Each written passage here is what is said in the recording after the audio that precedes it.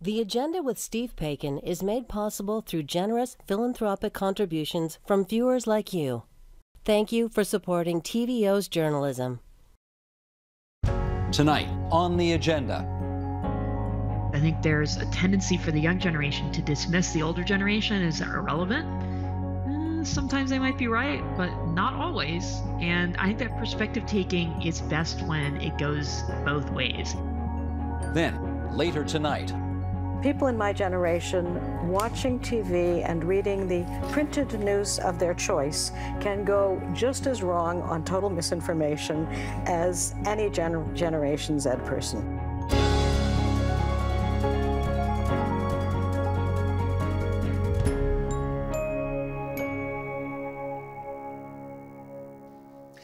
Whether you care or not, the fact of your birth assigns you to a generation.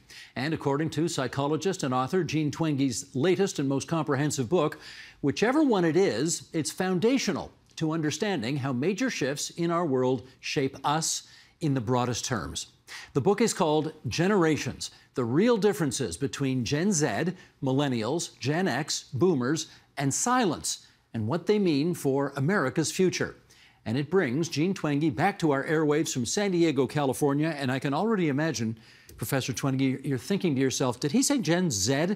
Yes, I'm sorry. This is a Canadian show. We don't say Gen Z. But with all of that, let me welcome you back to our airwaves. It's great to see you again. How are you? I'm good, thank you. Okay. You write that when you were born has a larger effect on your personality and attitudes than the family who raised you does. Okay, let's dive in there. Why would that be the case?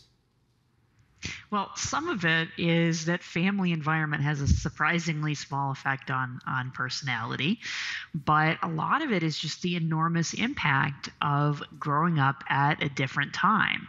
I mean, when you think about what it was like to live 200 years ago or 100 years ago or even 50 years ago, how you lived your life day to day your life course in terms of when you say finished your education or when you got married or started your career was completely different. The technology that you used was completely different. The values and attitudes that most people hold have also changed. It's just fundamentally different. I can remember a time though when we used to categorize ourselves by whether we were kids of the Depression or whether we grew up during the war or post war babies or Vietnam babies, that kind of thing. Is that, in your judgment, no longer the way we ought to be thinking of these things? Yeah, that's the traditional theory of generational differences is that generations are shaped by the age they are when they experience certain major events like wars or economic depressions or pandemics.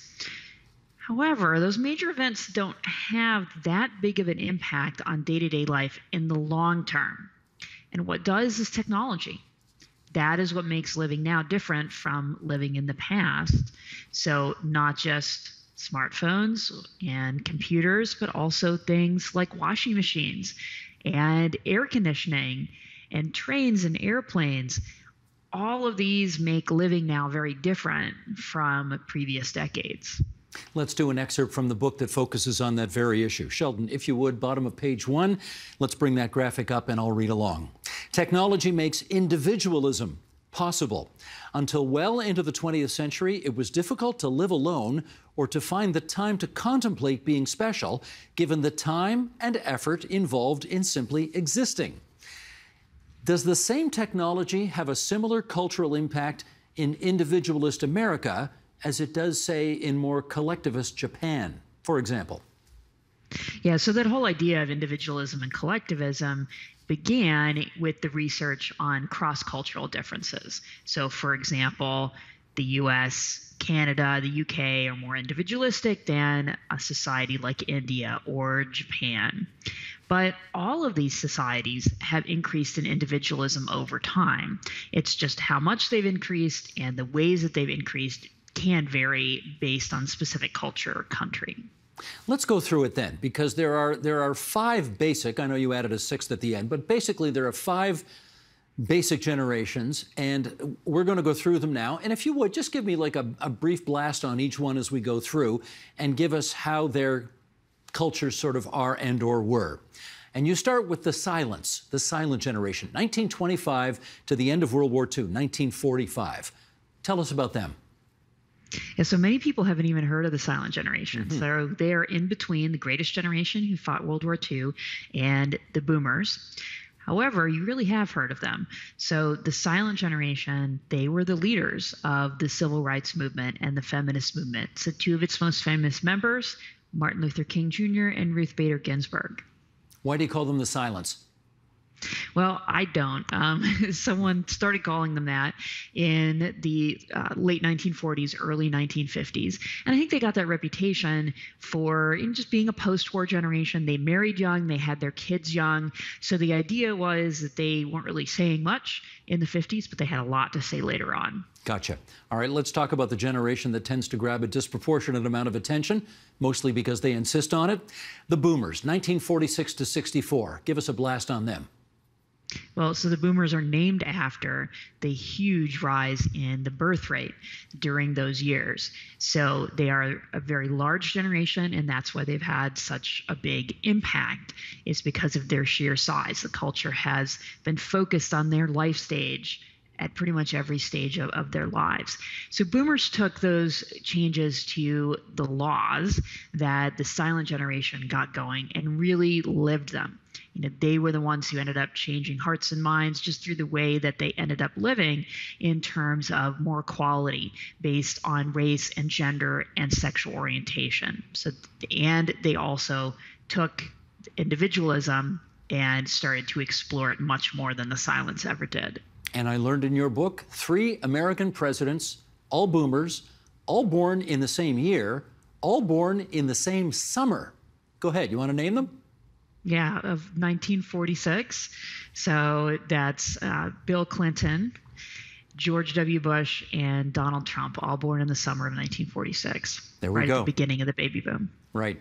All right, next one Generation X, Gen X, 1965 to 1979. A word on them.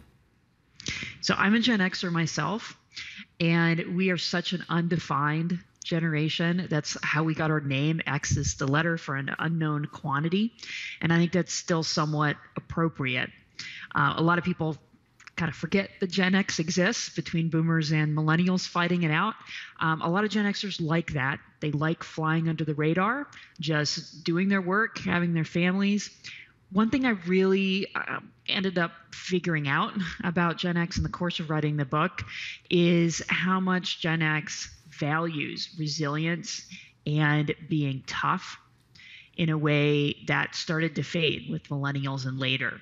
So, a lot of the cultural and political discussions around free speech and cancel culture, the generational break is between Gen X and millennials. And I guess we should always apply the 3M adjective to millennials, the much maligned millennials, because they are the next group we have to talk about. 1980 to 1994, why so much maligned? Well, you know, I, it, it might be true that millennials have gotten even more criticism, but Gen X got criticized, Boomers certainly got criticized, uh, and still are criticized. I mean, I think that just happens. I think it's really unfortunate. I mean, when you look at these things, these are big cultural changes that have affected all generations in one way or another. We're really in this together, and the idea of whose fault it is or who should we blame, I think, is really counterproductive. So millennials um, are defined by taking that individualism to the next level. So it's not just equality, although that's central to them. It's also about just be yourself and you can be anything you want to be, and very high expectations and a lot of optimism. And then that ran into the Great Recession so started to have some qualifications there. So there's a lot of underlying anger of nobody told us it was going to be this hard. The good news is that contrary to popular belief, millennials are actually doing really well economically. The line for a long time is that millennials are all broke, they're not going to do as well as their parents. Well, at least in the US data, median incomes among 25 to 44 year olds are at all time highs, and that is corrected for inflation, including, including housing costs and, and other costs of living. We will dive into that more later because uh, people listening or watching this right now are going to say, there's no way that's true, but we're going to come back to that. Uh, mm-hmm. Finally, Gen Z, or Gen Z as you call it in the States, 1995 to 2012, and they are well known because why? Well, they were the first generation to spend their entire adolescence in the age of the smartphone and ubiquitous social media.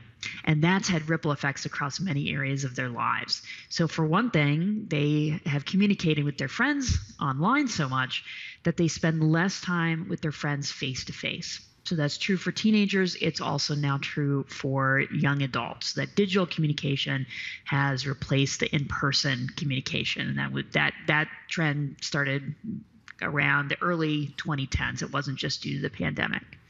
The other thing that Gen Z or Gen Z is really known for is the enormous increase in mental health issues that again started around 2012. That, for example, teen depression doubled between 2011 and 2019 in the US, so even before the pandemic. And we have some good data from Canada, specifically from Ontario, showing the exact same thing in grade 7 to grade 12 students in Ontario, with big increases in mental health issues beginning in the early 2010s. And is it undeniable, in your view, that that is the case because they are digital natives as opposed to being digital immigrants? So we have to consider all possibilities here for why this increase occurred and why it occurred beginning in 2012. So I first presented this theory about six years ago in my book called iGen about this generation. And since then, no other plausible explanation has really come to the fore. Nothing else fits the data as well. Partially because of the timing. So, smartphones uh, were used by the majority of North Americans around the end of 2012. That's also when social media use started to move from optional to virtually mandatory among teens. But it's not just the time sequence, it's what else had such an enormous impact on the day to day lives of teens. And the answer is nothing. Hmm. All right, let us, now that we've gone through all those five different generations, I do want to circle back to millennials because you did say something that I know is going to surprise a lot of people the notion that they're not as economically badly off as they purport to be. In fact, they're doing better off than everybody expects. The word is we can't get the best jobs because you boomers won't retire. We can't get the best houses or any houses because prices have skyrocketed thanks to you boomers. And you have said the millennials either now or eventually are going to do even better than the boomers. What are you seeing that clearly so many others are not? Yeah, you know, the thing is, this is publicly available data from the US Census Bureau and the Bureau of Labor Statistics. It's not difficult to find. I didn't even have to do any stats analyses. They publish these tables. Median incomes are very high. Um, and the St. Louis Fed took a look at wealth building, which is important because it's not just about income; it's also about wealth, and that that also takes into account things like student loans, which are you know a big deal. And millennials are neck and neck in wealth building with Gen X, and they are on track to catch up to boomers as they get older. Uh, the housing market is an interesting example. So here there's some variation within the generation. Early millennials, if they bought, say before about 2020, have seen their house values skyrocket. But younger millennials who maybe have not yet bought, they're in a tough situation because prices are high and so are interest rates. So the counter I hear to these these observations a lot as well, but housing prices have far outpaced inflation. Well, two things on that. Housing costs are a huge amount of the calculation that the Bureau of Labor Statistics uses to correct for inflation. And second, what people forget is that in that huge rise in housing costs, in housing, sorry, in housing prices is that housing costs have actually stayed relatively similar until about a year and a half ago because interest rates were so low. In the 1980s, interest rates for mortgages were 13%. And in 2020, they were about 3. So that's a huge difference and so the cost was actually similar. Millennials would suggest though that whereas we boomers needed to save on an average five years in order to be able to purchase a home or have the down payment to purchase a home. They have to save something in the area of 18 to 20 years in order to be able to do the same kind of thing. Now, the facts show that. They're not wrong about that, right? Well, it depends. It depends on when we're talking about. So, if we're talking about people buying a house in 2010 when prices were a lot lower, older millennials were often buying houses at the time. They got the deal of a lifetime. So, in that part it wasn't true. Then after prices started to go up again, it is true that even with low interest rates, you still have to come up with a down payment for that housing cost. So in that place, saving for the down payment that's true. That that has become harder. Ironically though, what has often happened with millennials is their boomer parents who have a lot of home equity will give or loan them the money. Or or when they die, these millennials are going to be very well off. That's what many people are expecting, yes. Yeah, okay. There's another group here, and I got to confess I'd never heard of them, a sixth group that you have put together. And, um, well, I guess in part because they're new on the scene and their generation is expected to last starting in 2013, but lasting until 2029. The polars, polars, like polar bears. Uh, how did they get their name? What will define their culture? Yeah, so this is the post Gen Z generation, born 2013 and later. So these were the young kids during the pandemic who, the you know, the, the, the poor kindergartners who had to do their kindergarten and first grade online. Um, and I think that dividing line of 2013 is a good one because Gen Z, Gen Z, they all remember a time before the pandemic, and polars were not. So we don't have an agreed upon name for this group yet. Some people call them alphas, thinking, okay, we've run out of letters, and then we got to go back to the beginning and use the Greek letters. I'm not a big fan of the letters. Uh, they're kind of repetitive and not very descriptive. So I call this generation polars, after melting polar ice caps and political polarization, two things that are shaping their world right now and likely will in the decades to come. Now we are, we have been taught, Jean, since we were kids, don't stereotype people. You can't put all, all people in one basket.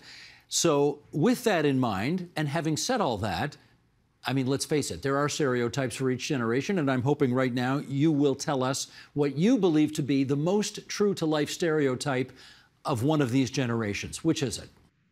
Mm. Well, you know, first I have to I, we have to acknowledge the difference between stereotypes and data. So stereotypes are when you guess. Um, data is when you have actual data, knowing what the average differences are. Even with that data, though, of course, not everyone is going to be at the average. So there's a lot of variation within each generation. Just like when you have differences, say, based on gender, there's plenty of variation among men and among women, even if you have an average difference. So always have to acknowledge that. Uh, so there are some stereotypes that have some truth behind them, and then there are those that don't. Um, in the book, I debunk a lot of the stereotypes that are out there, like millennials are poor and all, all boomers are, are rich.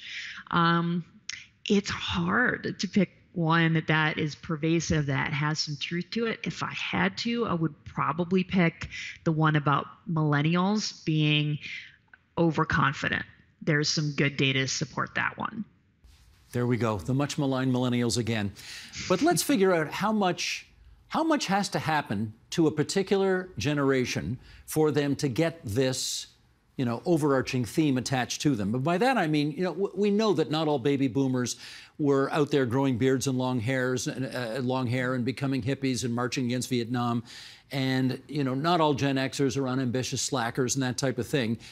But but what percentage of that group would have to have those characteristics for them to be defined for a whole generation to be defined that way? Yeah, I think those types of perceptions are more anecdotal, and there are certain types and certain subsets of the generations. Because boomers are a great example. Sure, they were the hippies of the 60s, but then they became the yuppies of the 80s.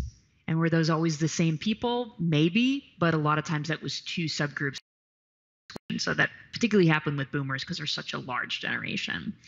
Um, but you know, I think those things can only go so far, those perceptions, those ideas around subgroups. It's one reason why I'm much more happy to rely on these surveys of millions and millions of people to see, well, overall, how does this generation look on average? I'm really trying to get a number out of you, though. Is it, is it fair to say if, I don't know, 25%, 50% of the people of a certain generation reflect a particular set of qualities that's enough for us to categorize the entire generation in such a way. Do you have a number in mind? I I don't for kind of a statistical reason. Um, most of these most of the time we measure these things in these in surveys, or sometimes these are yes or no questions, and we can say, you know, X percentage identify this way versus that way. But it's hard to come to that conclusion and put one number because there's just there's so much variation across the generation and it also depends on what trait you're talking about Hmm. Uh, I, I, guess I'm going to go at this one more time, in as much as, and you've had this criticism before, so you've you've heard it, that if you're born in the same year, and one of you is a black man growing up in Mississippi, and one of you is a white woman growing up in New England, you're the same generation, but your realities are really pretty different. So how do right, you actually because, categorize yeah. people that way? Well, I mean, of course, people differ in many, many ways other than just generation, but that they those those two still have their have their birth year in common.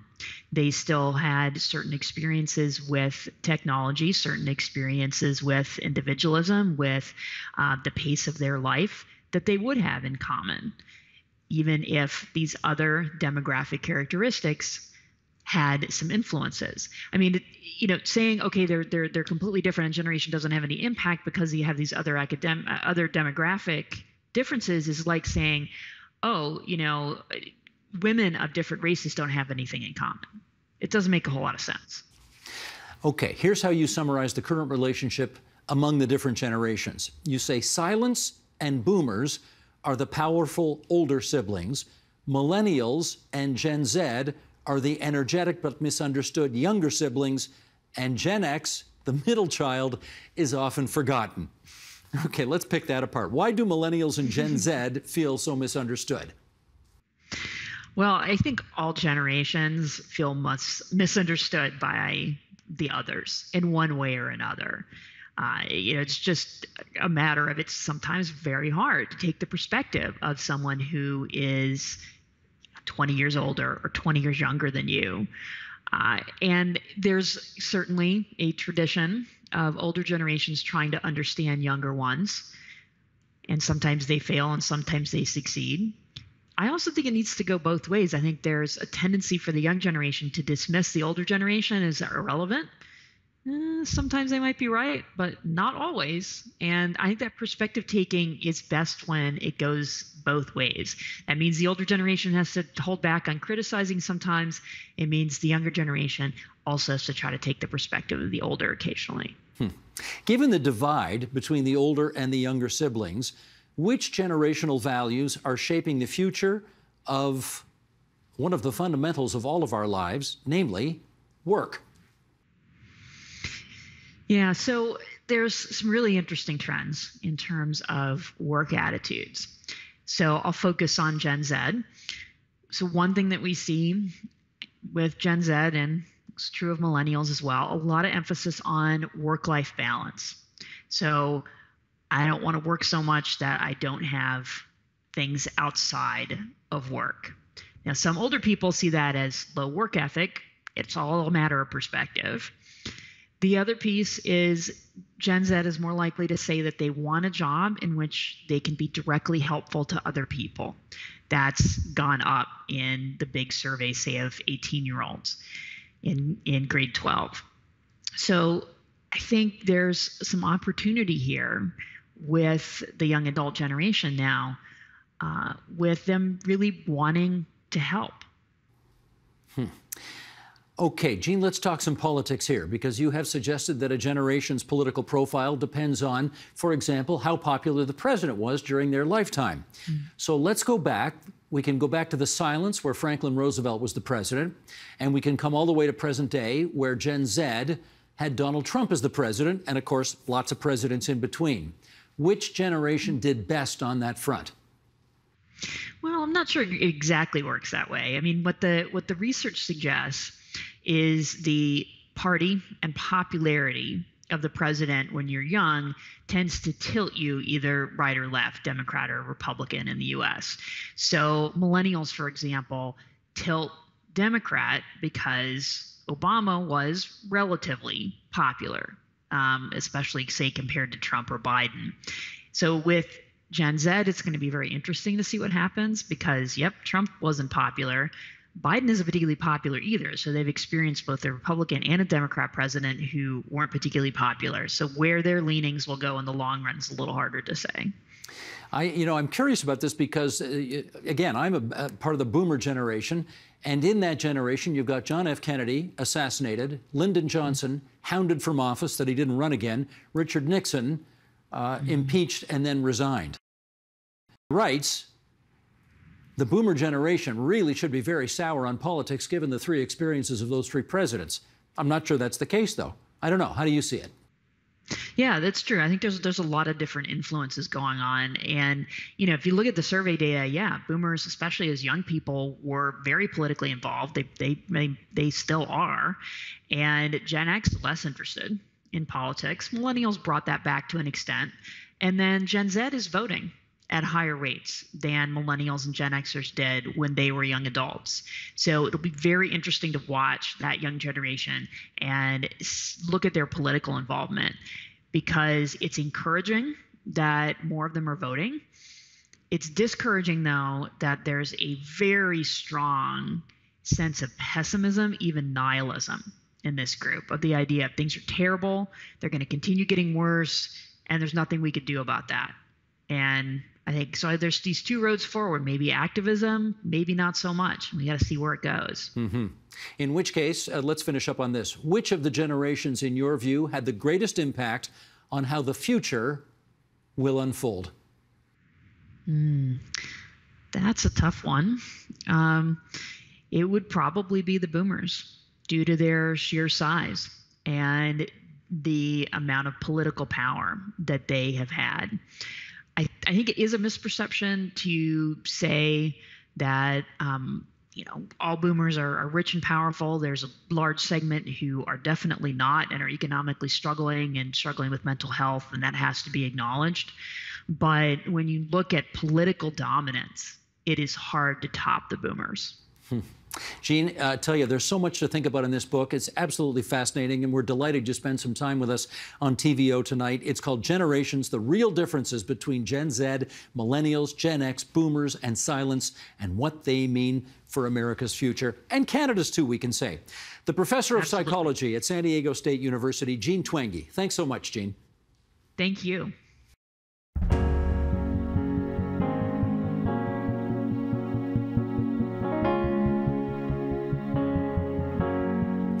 When Canadian media theorist and futurist Marshall McLuhan wrote his most influential works in the 1960s, it's hard to imagine he really envisioned our world as it is in all its technological and social media complexity. Still, his notion that the medium is the message endures, and even invites us to consider how the evolution of the media ecosystem has rippled across and perhaps even shaped subsequent generations. With us now on whether the avalanche of media makes us better informed than we were in the past, let's welcome, in order of generational seniority, from the baby boomers, Suanne Kelman, career journalist and professor of journalism, now retired. From Generation X, Paolo Granata, associate professor of book and media studies at the University of St. Michael's College in the University of Toronto. From the millennial generation, Noor Malik, a marketing professional. And from Gen Z, TikTok content creator Hazel Thayer, who joins us from the left coast in Victoria, British Columbia. And it is wonderful to have you three here in our studio. Hazel, thanks for joining us out in BC. I want to start by taking a look. We're going to go through four different generations here and take a look at how these different generations consume media today. I'm going to take you through a bunch of numbers here, so hang in there. We're going to look at generations from 18 to 29, 30 to 49, 50 to 64, and then age 65 plus. Here's how they consume television 18 to 29 year olds, not so much, right? Only 44%. But as we go down, increasing in the ages 55% for the next generation, 74% for the next. And if you're 65 plus, 85% of you still watch television as a part of your media diet. How about radio? Again, the youngest generation, only 35%. Next down, 48%. Next, age 50 to 64, 55%. Age 65 plus, 46%. Print. If you're young, print is really not much of a feature of your life anymore, or if it ever was. 21% consume it. Age 30 to 49, 27%. 50 to 64, 35%. This is newspapers, magazines, actually holding them in your hands. 65 plus, still half the people at 65 plus have print as an aspect of their lives. And how about the internet? Well, here we go. The digital natives, 18 to 29, 91% consume news on the internet. 30 to 49 year olds, 88%. 50 to 64 year olds, a little less, 78%. And for 65 plus, the seniors, only two thirds. Let's figure out at this table, virtual and actual, how you got into following the news in the first place. Suanne, take us back. How did it start? Well, we got the Telegram and the Star at home, uh, not the, the Telegram Globe. is a Toronto newspaper. Yes, that yes. has not existed for 50 years. yes, exactly. Should, yeah. I, want, I, thought you'd get the reference. Um, I don't think that I really paid much attention to anything except the cartoons until JFK was assassinated. Hmm. And then suddenly, everyone I was in junior high school with started following the news. How did you get into following the news? Well, it's a core memory for me, actually. My dad returning home from work at the hospital, and we would all gather together as a family and eat dinner and watch the evening news on television. Hmm. Paolo, how about you? Well, I got the news along with meals. So, literally, our media diet was uh, breakfast, lunch, and dinner. So, following the news uh, during the meals. Media was part of the diet. Absolutely. I get you. Hazel, how about you? Uh, I think far before I sought out news, I would just see it on social media, see it being shared, uh, and I don't believe I started seeking out news until around 2016. And how old were you at that time? Hmm, about 19, I think. 19 years old. Okay, very good. Mm-hmm. Let's do the follow up question. Suanne, how have your media habits changed since it started?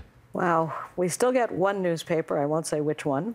I get two, uh, two others, two Americans, plus The Guardian online. I read way more online than I used to. And also, I find that TV news is a bit slow for me um, with the set format. So more and more I'm getting that online too, so that I can skip some stories. Huh. So you don't actually watch very much news on television anymore? It's on all the time. My husband is addicted, yeah. but I'm finding it a slow and inefficient way of getting news. Current affairs is different, but not news. Interesting. Okay. How have your media habits changed with time? Yeah, I think starting off more with reading the newspaper and then gradually moving into the internet. So even with the internet, it's using more so news websites and then a combination of various social media to get my information. Do you get a newspaper delivered to your home? No, I don't. No kidding. No. I was kind of, it was a facetious question in a way. Yeah. Paolo, how about you? Well, I completed the transition of my generation from legacy media to digital media. So nowadays I do rely on social media and um, I do look at the news uh, and TV with the let's say, the professor perspective, so to really look at uh, what's going on in the legacy media. But my media diet is more uh, closer now to the generation of my students. Do you get a newspaper delivered to your home? I used to when I was a child. I used to when I was a child. With okay. my family. Fabulous. Okay. Hazel, how about you? Um, I have tried to avoid getting most of my news from social media, even though it is so easy. Uh, I would say that lately my habit has changed uh, to getting news from news websites directly and from newsletters direct from journalists, which is a fun, uh, a fun feature of the internet nowadays. Hazel, I'm not even going to ask you if you get a newspaper delivered to your home because I know what the answer is. I know she's shaking her head. Here's how uh, I want to show folks how Hazel does her thing. Um, okay, what are we going to do here? This is TikTok. Here's what a TikTok creator does. It's a clip of Hazel explaining the individual economics of carbon taxes while playing her favorite game. Okay? Are we with me here? Sheldon, roll it if you would. We have a carbon tax, right? And the point of the carbon tax is not for the government to make money. The point of the carbon tax, thank you, is to, um, you know, prevent people from polluting, of, of course. And so to avoid this having any unnecessary financial burden on just regular people. Instead of keeping the money, it's revenue neutral, which just means, whoop, that they split it up evenly and send it back to people's bank accounts. So most people will make money off of Canada's carbon tax. It should be called a dividend. Um, and, you know, only the biggest polluters will actually lose out on the money. Um, I think that rather than being directly sent to our bank accounts, it should be handed out via money guns so everybody knows what it's for and can't get mad about the carbon tax. But that's just my opinion. Anyway, back to Zelda. I got to tell you, you are fantastic. That is a that is a tremendous talent you just demonstrated there.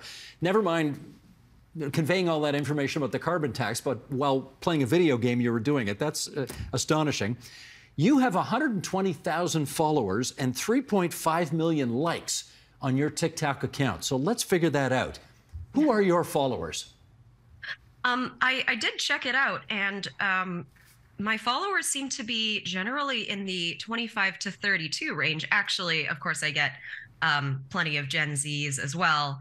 Um, but for TikTok, anyway, my audience skews a little bit older, which I guess means that um, more than just Gen Z are on TikTok. And why do you think they follow you? Um, I think, ooh, I think that I try to combine, um, well, I guess you just saw, I think I try to combine um, facts about economics and climate with humor as much as possible uh, because it can be a very dry topic. And to confirm, you were not reading that stuff that you were saying to camera, correct? It took quite a few takes. Yeah, but still, that's a heck of an achievement. Well done. I was deeply impressed when I saw that. Thank you. Now, you and your fellow millennials, I know, like to think of yourselves as up to date people, au courant as it comes to the news. How important is that aspect of your generation's uh, view of itself? Yeah, I think it's fairly important. I think we've all grown up in a time where we've lived through some major events, both in the United States and Canada, as well as the COVID um, pandemic, which we've all kind of survived through for the last few years. So I think our absorption of news has become almost heightened to a perspective. So yeah, it's very important. What's the major international event of your life? Made, I, I, would say it would be COVID-19. I think that's really? the major the major thing because it had so many impacts to the way that we live and how much our work transformed. Like for example, I used to be working in person five days a week, commuting downtown Toronto, and now I've been working remotely for the last three years. So that's a pretty major impact mm. on my life personally. What year were you born? 1990. So you were 11 for 9/11. Yes, I was. Which is a fairly impressionable age. And it, I, it is. So not 9/11 though. Not 9/11, just because I was younger when that happened. So the direct impacts to me were less. Whereas now in my life, the impact that COVID-19 has had, I think, is more palpable on a daily basis for me. Okay, Paolo. Among many things, you are a Marshall McLuhan scholar. And McLuhan, as we said in the intro, coined that famous phrase, the medium is the message. How do you think that expression applies to what we're talking about here? Well, to put it simple, the medium is a message means that uh, content is important, but the context makes a difference. And now uh, uh, we live in a different context, and the context uh, uh, shapes uh, the way we perceive reality, the way we perceive the world around us, the way we undertake our current affairs. and so, looking through different generations, media played a different role. And I see this difference. I see myself as uh, raised with the TV like a babysitter, right? Mm-hmm. And, and TV was a kind of uh, detaching medium because I was in front of the TV, right? My, my, parents yelling, "Oh, you're in front of the TV all the time." Now, well, my students, uh, younger generation, said, "I'm not in front of social media. I'm on social media. Hmm. I'm on Facebook, on Instagram." That's a huge of a difference. What, does that, what does that, convey, the difference in that preposition? Convey that uh, for my generation, uh, media were tools, services, channels to get informed, to get engaged. For this generation, for the younger generation, it's a world they live in, within which they live. So the media are the environments within which they live. It's a fundamental uh, distinction. So that's why in front or on, well, I won't say I'm on TV, right? Except, my, well, maybe you, you can say that, you are on TV all the time, mm. but we don't say so, right? Mm. They are in, on the media. Gotcha. Well, we, we showed the comparison, Suanne, earlier between those who consume television, radio, print, and internet, and the differences among the generation. Does the knowledge of what's happening in our world depend on which of those four platforms you're in, on, or in front of? Absolutely not. Um, I've been thinking about this a lot. I lectured, uh, after I retired, I lectured on fake news several times until it became too depressing. And what I have to acknowledge is people in my generation watching TV and reading the printed news of their choice can go just as wrong on total misinformation as any Generation Z person. Hmm. Uh, it is your ability to evaluate information, your willingness to look at a wide variety of information instead of tailoring it to your own prejudices. I know that there's a lot of concern, which I share, that the attention span goes down when when people are on social media all mm-hmm. the time. And I did see that when I was teaching. But what I see in my generation are an awful lot of anger addicts watching the TV and yelling at it all day long. And they are no more informed than someone who is only looking at Facebook. The difference is when they're yelling at the TV, only they are hearing it. When they're yelling it on Twitter, thousands of other people are That is it. That is absolutely true. But you can have, look, the mainstream media, say 100 years ago, was every bit as biased as Fox News. What I ask people to look for is is there any accountability? If this is completely false, is someone going to have to pay for it? But of course, most people don't want to listen even to that. I guess what I would like to say is misinformation is available across all platforms. mm. Hazel, let me get you on that. Do you think your generation, uh, uh let me put it this way we baby boomers, I think, because we grew up with television news, tend to prize it as a more reputable source of information than, say, most of what you might find on the internet. Now, of course, you know, brands are brands at the end of the day. But does your generation have that same, does it have differing views of the reliability of the different media platforms? I, I will say that I personally am held accountable by the people who follow me. Like I am expected to report my sources, uh, check uh, check my facts, and when I'm incorrect, people will tell me. And so I think I think that at least among the Gen Z, Gen Z audience that I have, um, there's a lot more. They're a lot more credulous of the news that they consume. Hmm. Uh, I think it's because we all grew up watching MythBusters.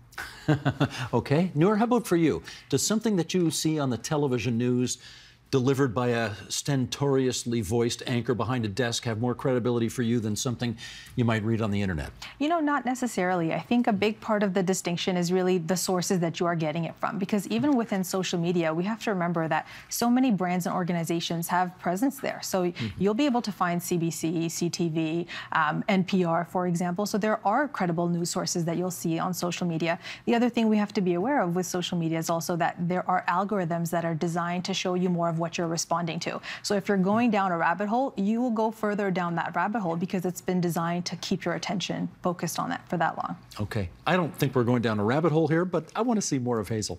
Uh, shall we took a, take a look at another clip? Sheldon, if you would, let's roll this next one. You know what simply boggles my brain about the youths these days? Like you, we, we, I'm technically Gen Z. We grew up on the internet, right? On the World Wide Web. Can't do a Google search. What? You don't know how to Google. Like I can't believe it. I'll be I'll be posting things on or I'll be referencing things in a video of mine and there'll be all these comments being like, "How can I find that?" I don't know. Maybe on the magical machine on every device that has like a compendium of all human knowledge. Maybe if you type it in there, it might come up. Okay, is there a sense, Hazel, that your generation, because it's mistrustful of authority and it doesn't believe in objectivity as much as, say, my generation did, uh, does and did, uh, you're engaged in very much fact checking to make sure you don't fall into disinformation. That's the gist of the argument. Is it true? Um, I I think at least from the corner of the internet that I am on, there is a lot of fact checking and a lot of debunking. For example, on like major news media, you don't see a lot of videos or um, news articles about debunking other news articles, whereas you see that all the time online. Um, so, but yeah, we we we do love to fact check. Um, and as for that video, yes, I think more people need to learn to Google. right. Paolo, we are going to Ottawa to interview Samantha Bee, who has made a fantastic, originally from Toronto, and she's made a fantastic career for herself um, with comedy. Not so much making fun of the news, but using comedy in some respects to deliver an important news message. What do you make of this phenomenon? And of course, she's one of many people who are doing this. What do you make of this phenomenon of turning the news into comedy as a way of making a different point? Yeah, it turns into the idea that news is entertainment. And among many other platforms, so particularly the new generations are accustomed to pay for high quality contents in the streaming platforms. And so news become part of this uh, spectacle, so the society of the spectacle, where even news again become, uh, becomes entertainment. And so they are even uh, willing to pay for this kind of entertainment if there is a high quality, well engaged, uh, and uh, well, uh, well received content in this kind. Hey, so you do that, right? I mean, comedy is all part of your shtick, isn't it? Yeah, exactly. Um, I think a lot of what I talk about would would not be very well received or you know listened to if I didn't add a little bit of comedy to it. Is the Daily Show Noor part of your daily content? It used to be for quite some time actually, but I think the host changes shifted it up for me a little bit. So uh, without Jon Stewart, it's not the same. It's not the same. You're right. It's hmm. not the same. They're getting a new guy now, right? Trevor Noah's gone. Who's the? New? He's gone. I don't know who the new guy is. I don't know who the new guy is. It's either. available as a, as a gig. Uh, what are you looking at me for? I got a gig anyway. At least I think I do. Okay. Let's um, let's move on to this. Suanne, a recent American survey suggests 40% of Gen Z or Z, whichever, and millennials seek out news, while 60% bump into it. Mm. How well informed was the average boomer four or five decades ago? Four or five decades ago, I think boomers were better informed than young people now. There were fewer forms of entertainment, mm-hmm. and it was cool in most circles to know something about politics. That just from my teaching, which is the, where I was teaching younger people, obviously news, and these were journalism students, was not nearly as big a factor in their lives. I think part of it may have been to do with the sense that they weren't going to be able to influence it so much. Mm. And if I were 20 now looking at the world, I, I would feel very powerless, which might cut down on my interest in news. You know, back in the 60s, we thought we were going to take over the world and change everything, which made the news more interesting. Well, when, you kind of did, didn't you? Yeah, not we didn't do such a good job of it, but yeah, we did. Yeah.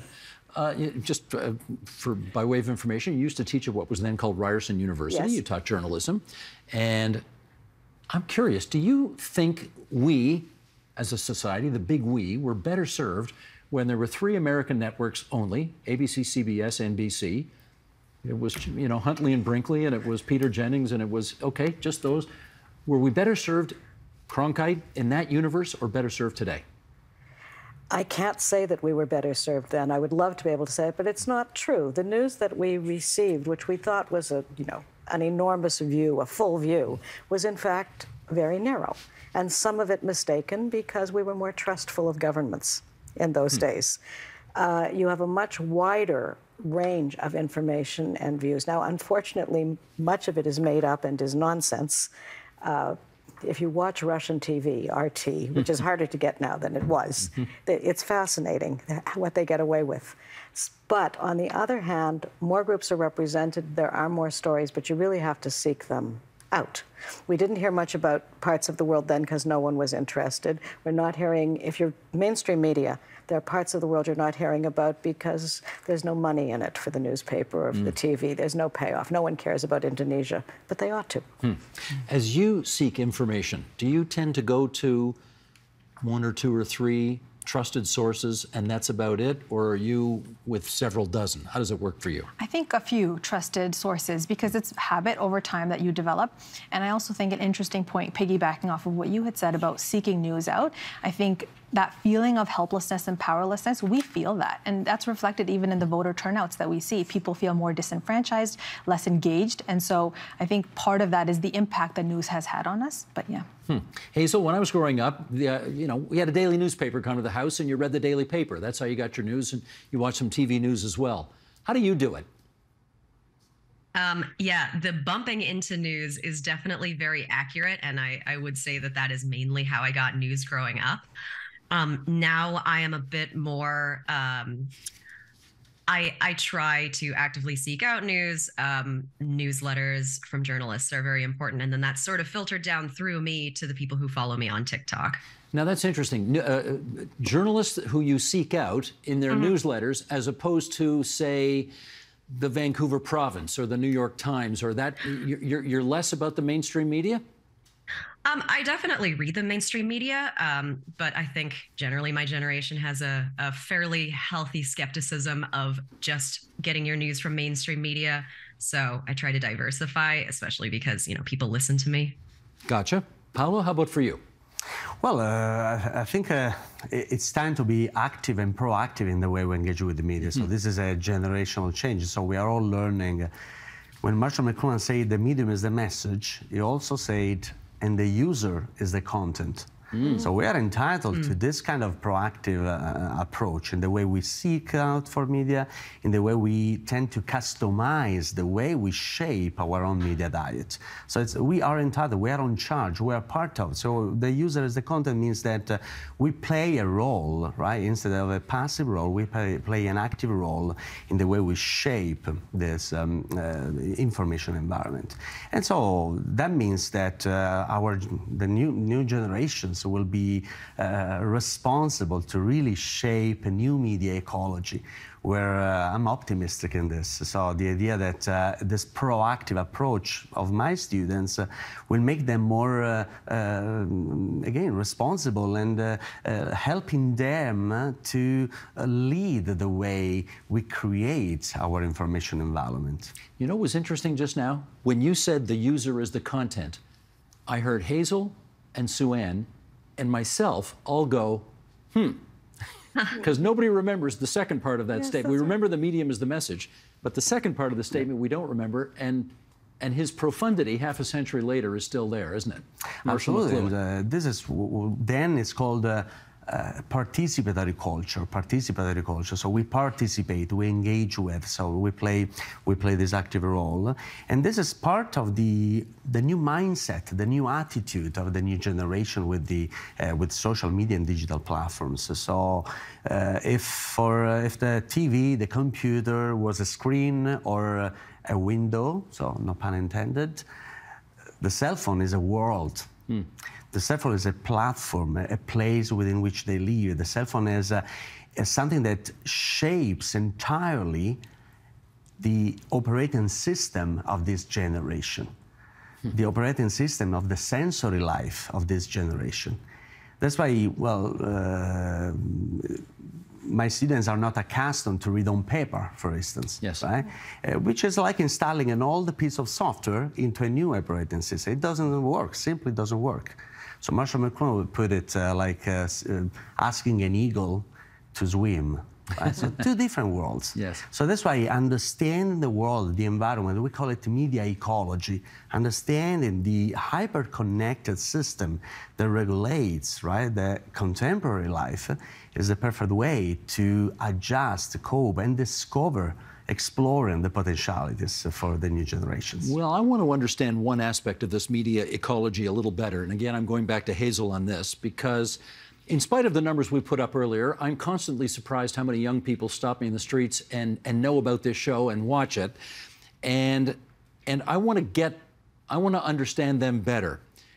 What, what is the secret sauce to being a popular TikTok host, as you are, content creator, whatever you call it, and and try to. I mean, uh, we'll go back to the carbon tax. You you did a riff there on a fairly complicated subject, which is how the carbon tax will affect Canadians and the taxes they pay and so on.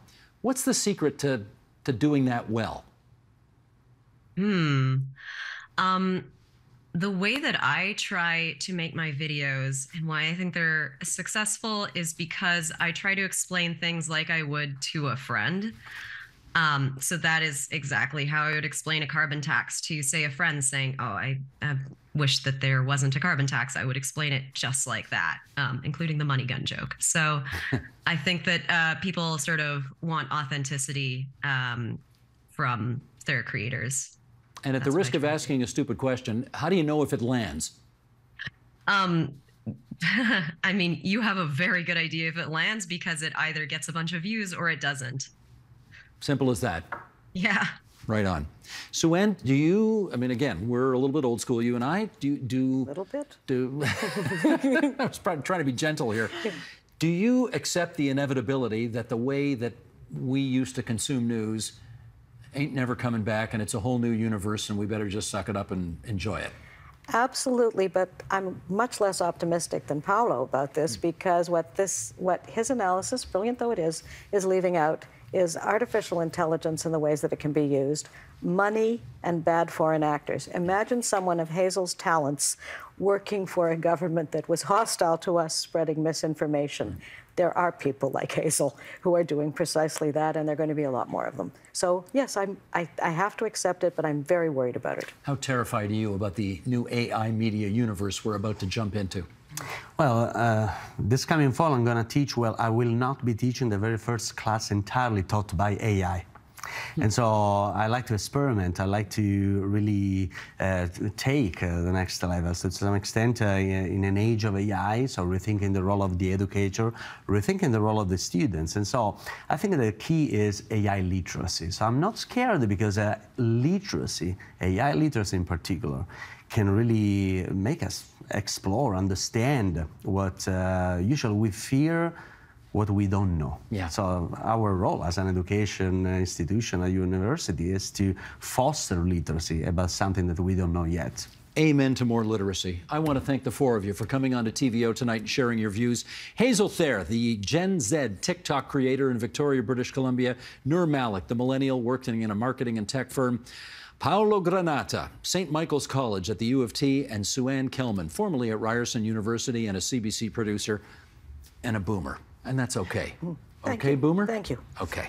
Thanks, everybody.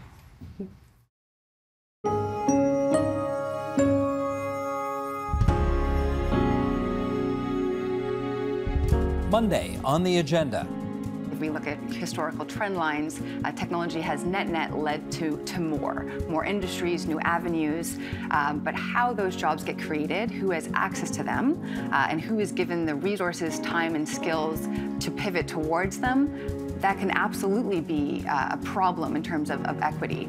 And if we look in even the last 10 years, how income has kind of been divided, it isn't trending in a direction that's favorable uh, or equal. Also on the agenda.